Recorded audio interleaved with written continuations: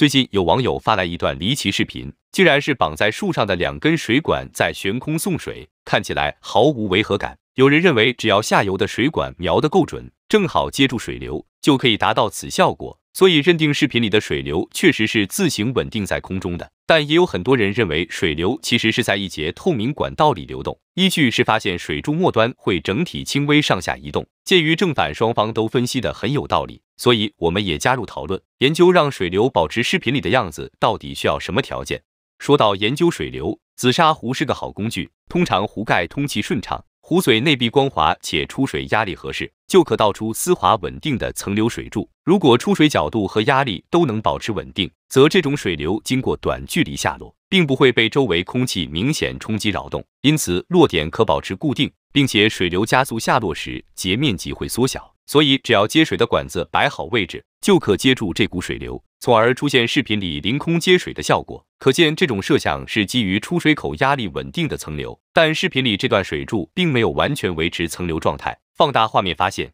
水流的前后段出现两处飘忽不定的湍流区，这正是凌空接水的可疑之处。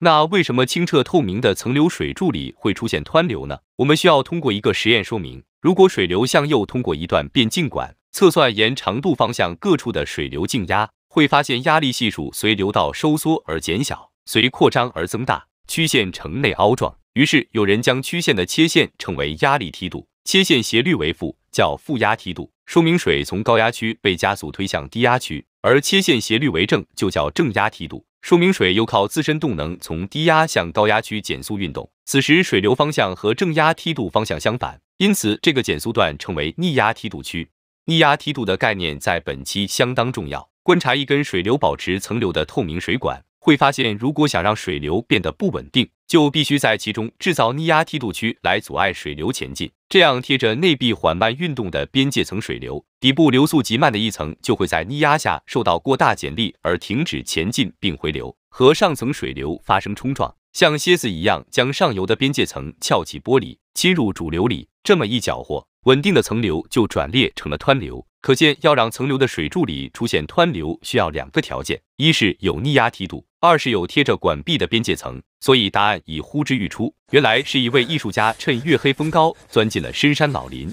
然后不辞劳苦把人家的水管子给锯断，自己再接上一根透明管，希望创作一件惊人的凌空接水艺术作品。但艺术家忽略了透明管截面对水流的阻挡，由于水流冲击接口使水压升高，导致水流进入逆压梯度区。于是边界层受到扰动，出现轻微分离，形成较为微弱的湍流。所以仔细观察透明管前段的上下侧，就会注意到这些湍流的痕迹。本来这无伤大雅，可是是不凑巧，艺术家摸黑固定的橡胶管有点左右错位，造成透明管接上后发生水平弯曲，又让水流冲击弯道时压力升高，再次制造了逆压梯度区。而弯道处的逆压扰动，让已经若即若离的边界层彻底分离。向后延伸出锥形的湍流扩散区，占据了管道截面。因此，从艺术作品的评判角度看，水柱前后两处出现的湍流，已经暗示了透明管存在，使其评分从一百变成了八十。而管中水流加速时，两处逆压梯度也跟着增大，使分离程度加剧，造成水流全部被湍流占据。但此时湍流的表面却依旧平整如初，于是将透明管子暴露无遗，因此评分又变成了四十五分。